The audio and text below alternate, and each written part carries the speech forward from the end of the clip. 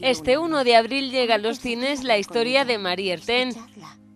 Basada en hechos reales, esta película nos adentra en una trama de finales del siglo XIX. La protagonista, una joven sorda y ciega de 14 años llamada Marie.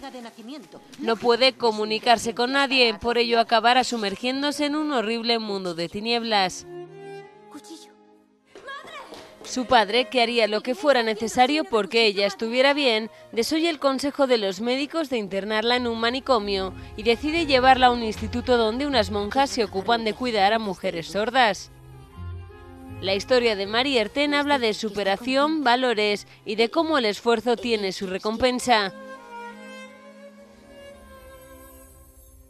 Inspiradora y sensible, las magníficas interpretaciones de sus protagonistas hacen de esta una bonita historia para pasar una tarde en familia.